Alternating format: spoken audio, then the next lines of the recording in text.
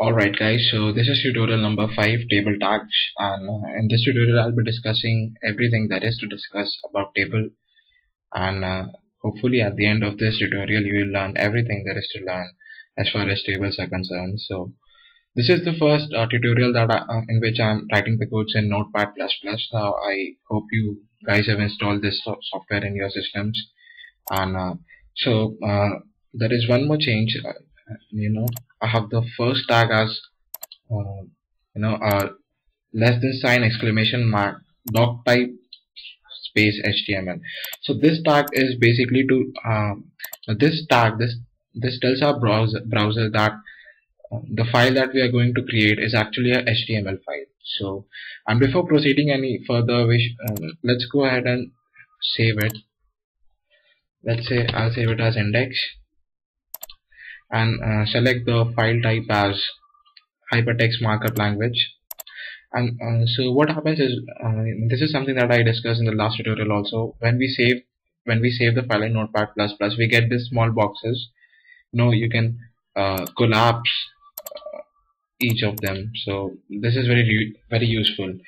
So let's go ahead and begin with tables. So again uh, we have a table opening tag and we also have a table closing tag. Again it's a paired tag so let's create a table closing tag. So you see now I have this sub menu I can again collapse the table and again I can again expand the table. So whenever you are creating a a, a, a pair tag so uh, you know you have this sub menu created where you can collapse and expand that that particular pair tag. So so we have started making our table. So um, uh, you know table will have rows as well as columns. So mm, if you want to uh, for example if I want to introduce a new row so the tag for it is tr and again I have a closing uh, tr uh, tr stands for table row. So Uh, let's say I want I want a table that should have two rows as well as two columns. So I'll just copy it and I'll paste it again. So now my table has two rows. Now in one row if I want two entries. So this is my first row. And TR stands for table rows. So naturally you think for table column we should have TC but for some reason we have TD TD actually stands for table data. So if you want to create a column if you want to create a column so you have to use this TD and let's say uh, I want my first entry. Again we, ha we have a closing TD tag now I'm in my first row right now and in my first column. So this is my first entry. Let's say I write something as Monday. Again I'll copy this and let's go ahead and paste it. So this is my second uh, second column. And still I'm in my first row. So uh, I'll just uh, take the entry to Tuesday. So now we have one row in which I have two columns. The first column my entry is Monday. Second column my entry is Tuesday. Now let's go ahead to the second column. And uh, let's say on Monday we again have to create two entries. So again we'll use the uh, table data tags.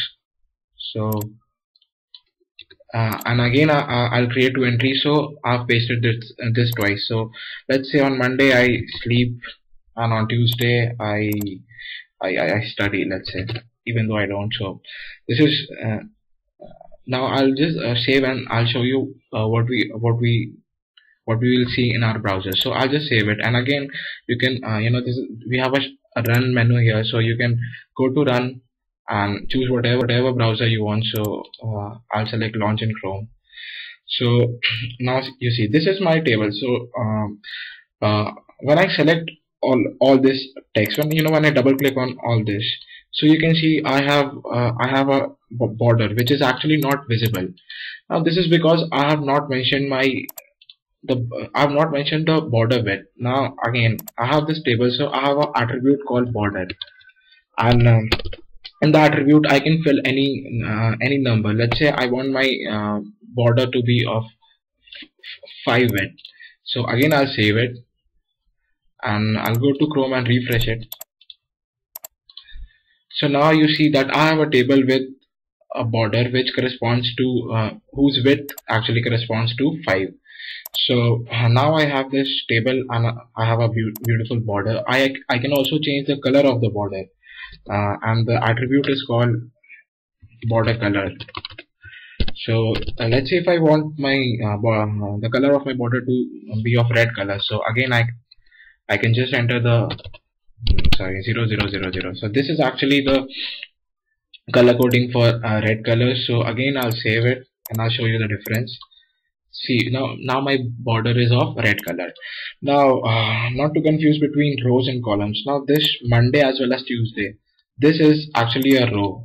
And this Monday and sleep this is actually a column. So rows are horizontal and columns are vertical. So my table right now has two rows. Uh, this Monday Tuesday is the row 1 and sleep study is row 2 and I have two columns Monday sleep as well as Tuesday study so uh, let's go back to the co coding again. TR stands for row and TD stands for column.